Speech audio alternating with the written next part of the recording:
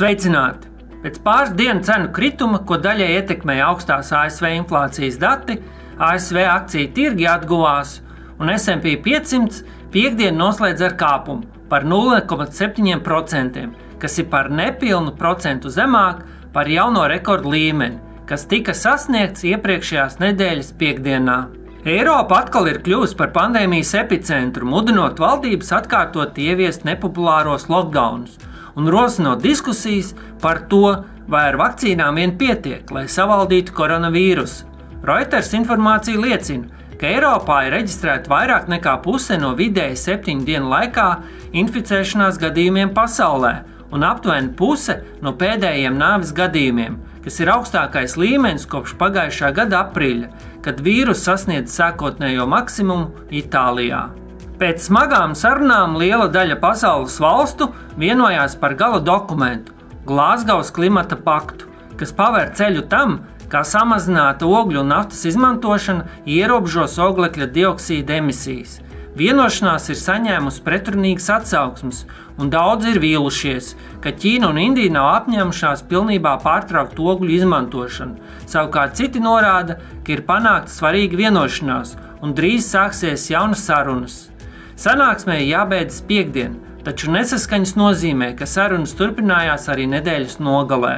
Climate Action Tracker ziņojums brīdina, ka līdz gadsimta beigām globālā temperatūra paaugstināsies par 2,4 grādiem, neskatoties uz klimata samitā izteiktajiem solījumiem. Aprēķini ir krasā pretrunā ar publicētajām prognozēm, kas liecina, ka sasilšana varētu ierobežot līdz 1,8 grādiem. Ziņojums secina, ka samitam ir milzīga plaisa starp uzticamību, rīcību un uzņemtajām saistībām. Jaunajā ANO solījuma uzskaitē atklājas, ka valstu 2030. gada klimata mērķi joprojām ir tālu no Parīzes klimata vienošanās mērķiem, un līdz gadsimta beigām izraisītu temperatūras paaugstināšanos līdz 2,7 grādiem. Tā kā klimata samita atklāšanas dienā tika iesniegti daudzi pēdējā brīža mērķi, Jaunais ANO apkopojums liecina, ka 152 valstis tagad ir publicējušas jaunus klimata mērķus, kas aptver 88% no globālajām emisijām. Taču ņemot vērā pašreizējos klimata mērķus, līdz 2100. gadam tiek prognozēts temperatūras pieaugums no 2,5 līdz 2,7 grādiem teikts atjauninātajā Emissions Gap Report. Simtiem pilsētu un reģionālo iestāžu ir parakstījuši vienošanos, lai panāktu jaunu automašīnu emisiju samazināšanu līdz 2040. gadam, taču nolīgumam trūks dažu lielāko automobīļu ražotāju un lielāko pasaules tirgu atbalsta. Solījums attiecas ceturto daļu pasaules automašīnu, un to atbalsta ražotāji, tostarp Daimler, Ford, General Motors un Ķīnas BYD kā arī valstis, tostarp Kanāda un Čīle. Tomēr četri no pieciem pasaules lielākajiem autoražotājiem - Volkswagen, Toyota, Renault, Nissan Alliance un Hyundai Kia - nav parakstījušies. Arī Ķīna, pasaules lielākais automašīnu tirgus, neparakstījās. ASV inflācija oktobrī atkal pātrinājās, pieaugot līdz 6,2% un pamatinflācijai līdz 4,6% abām pārsniedzot prognozes. Cenu pieaugums bija plašs, ar augšupvērstu perspektīvu, īpaši lietotu un jaunu automašīnu jomā, veselības aprūpē, mājokļu iekārtās un atpūtā.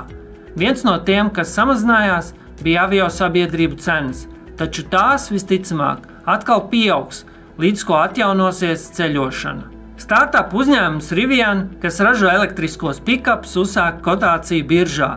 Tikai divu dienu laikā akciju vērtība strauji pieauga un uzņēmuma vērtība sasniedza 105 miljardus dolāru. Kontekstam BMW vērtība ir tikai 60 miljardi dolāru.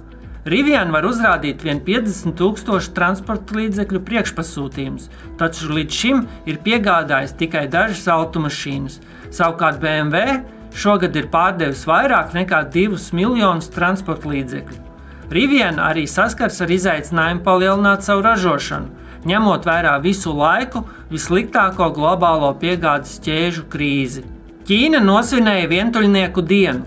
Vientuļnieku dienas izgudrotājs ir e-komercijas gigants Alibaba, kas ar lielu pārdošanas apjomu palīdzību un piesaistot ārzemju influencerus, ir centies panākt, lai šī diena izlaustos arī pārējā pasaulē. Alibaba šajā dienā pārdeva preces par vairāk nekā 84 miljardiem dolāru.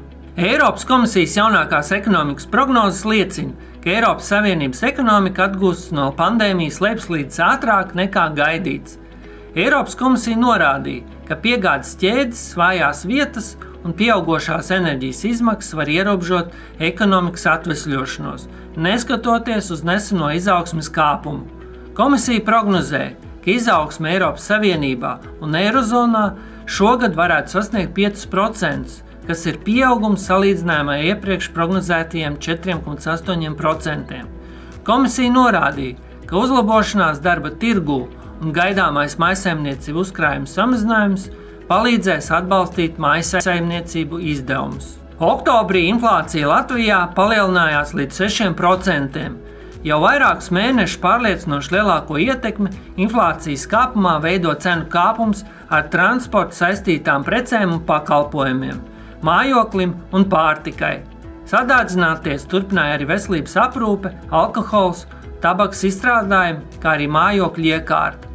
Inflācijas augšuvērstais gājiens, kā prognozēts, turpinās, un sev vēl nav izsmēlis.